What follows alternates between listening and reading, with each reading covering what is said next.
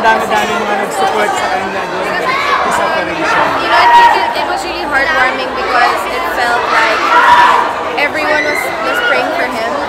And so we, none of us in the family ever felt alone. We just made sure that he knew we were there. We kept him company. Um, we all took our turns being his nurse. So it was nice. It brought us together. I mean, everything I do was for my parents as well because I wouldn't be here without them. Um, but if I do